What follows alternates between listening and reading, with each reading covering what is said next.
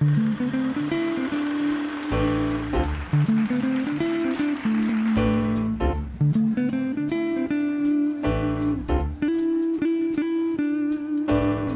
Well, first and foremost, you know, bringing a film to Sundance is just some of those things that if you put it on a resume, yeah. it's gonna stick with you. Like, are you pretty? I mean, just just like this is great. This is gonna happen. You know, it's just one of those things. Are you always excited to bring something to a festival like this? I am excited. Yeah, it's been six years. I was here in 2011 with Pariah, yeah. and now it's 2017. I'm back with Mudbound. So it's great, and it's also like a big step up in scale. So now we're telling this epic story, you know, with an ensemble cast, and it's a, you know, it's, a, it's, a, it's got war elements, it's got visual effects. It's, a, it's, it's, it's exciting to be here, and it's exciting to experience it with audiences in a non-commercial environment. So it's just about the art. So yeah. Now, when you were field, fielding everything, kind of just kind of checking on where everything was, was it interesting to see how much the South has changed or hasn't changed depending on area or the way things were working? Well, I think in general, you know, I'm from the South. I'm from Nashville, Tennessee, and so I grew up in the South and like in the suburbs. And I feel like, you know, we as a country, we can't just, you know, haven't changed as much as we think we have. You know, there's no more signs, but certain attitudes still prevail. And so I think it's important for us, you know, in the film, you know, there's a burial,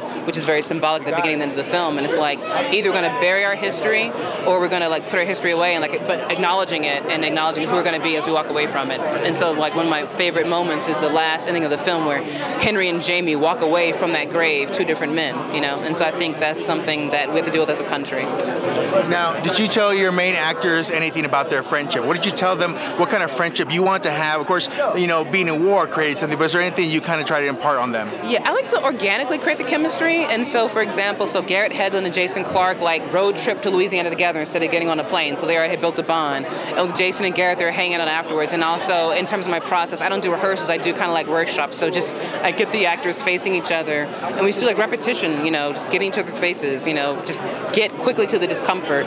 So when we get to set, that ease is there, that trust is there, because you've been, you know, just making eye contact for 60 seconds, which you know seems easy, but it's actually you know uncomfortable. So I just do that with everyone, and with like Carey Mulligan and Mary J. Blige, just have them in the room facing each other, saying, "You have the power. No, you have the power." Just 60 seconds, just really seeing each other, because you know at the end of the day, that's what it all, that's what it's all about. See, really seeing each other as individual human beings.